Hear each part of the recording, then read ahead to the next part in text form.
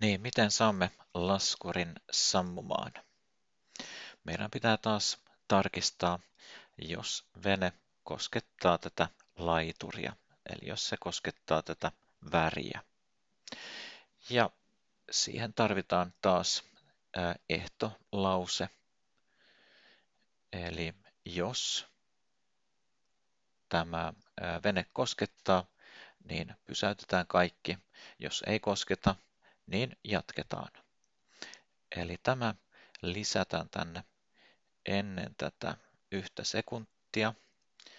Nyt tämä meni emme nyt oikein, vaan nämä tulee tänne jälkeenpäin. Eli tässä kysytään, että jos vene koskettaa, niin pysäytetään kaikki. Ja käydään taas tästä tuntoaistista ja kysellään, koskettaako väriä.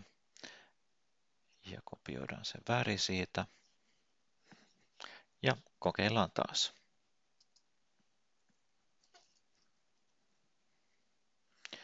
Ja oikaistaan vähän, jotta säästetään aikaa.